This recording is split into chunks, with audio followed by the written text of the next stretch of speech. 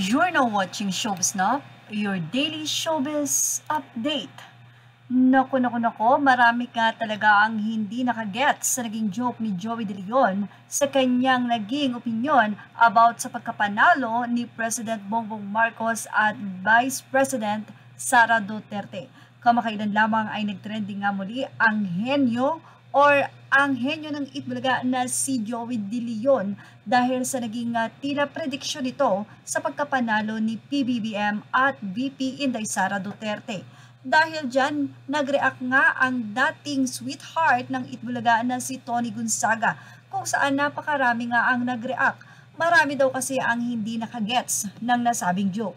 Narito ang naging article ng balita.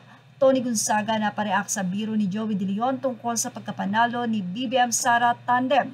Kamakailan lamang ay umani ng iba't ibang reaksyon at komento mula sa mga netizen ang biro ni Itbulaga host Joey De Leon tungkol sa pagkapanalo sa halalan ni na President-elect Ferdinand Bongbong Marcos Jr. at Vice President-elect Sara Duterte sa kanyang latest tweet ngayong May 29, 2022.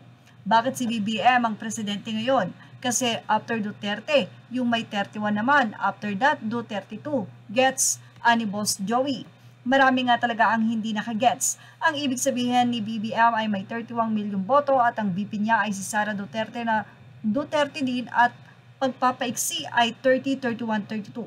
Umani naman ito ng iba't ibang reaksyon at komento mula sa mga netizen. Hindi nakakatawa ang joke na yan, sir. May galit ba kayo sa Pilipinas? Laspag na laspag na ang inang bayan, maawa naman kayo. Sinang isa that means they'll go back to school in 2034. What if Sands runs for president and after Inday, he'll be 40 in 2034?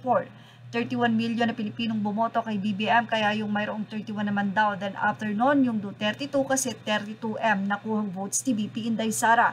Nagets nyo ba? Sabi ng isa na ko, sir, tahan muna baka makancel kami pag di naka-move on.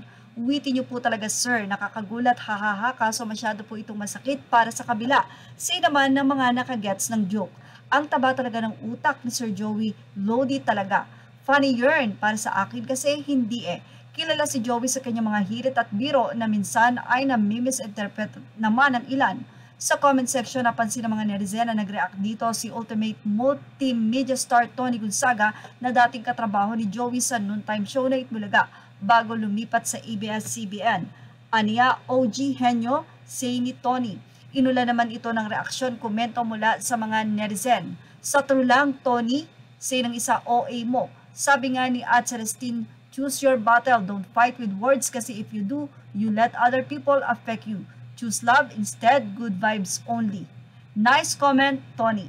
Ang ilan ay talaga namang binash si Tony Gonzaga at sabi nga nila ay ganyan talaga. Hindi pa kayo nakaka-move on, kayo na nga ang nanalo. Parang nang iinsulto pa kayo. Say ng ilang mga netizen.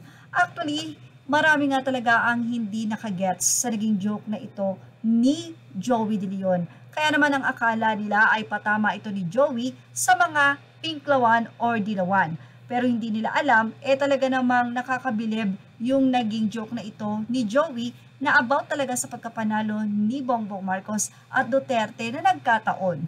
Well, anong masasabi niyo sa ating article na ito? Ilagay ang inyong opinion dito sa ating comment section. Images are all credit to the rightfully owners and thank you for watching Showbiz Now.